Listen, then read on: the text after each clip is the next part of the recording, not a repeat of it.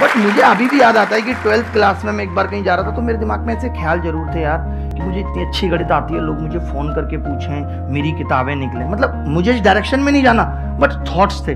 तो मैं यही मानता हूँ कि जो आपके थॉट्स आते हैं सच्चे दिल से, अगर आप ईमानदार हो तो वो चीज़ें ज़रूर पूरी होती हैं, वही रिफ्लेक्ट होती हैं। मेरी लाइफ में ऐसा मैं कुछ भी सोच लूँ, कुछ भी मैं सोच लूँ, ऐसा कुछ हुआ ही नहीं। ना खुद से, ना खुदा से, इतनी सी भी शिकायत नहीं है। सब कुछ पाया है जो सोचा है। तो सच्चे मन और ईमानदारी से अगर काम करो तो ऐसा कुछ नहीं है जो पाया नहीं जा सकता। कुछ भी अचीव कर सकते हो। बहुत बढ़िया।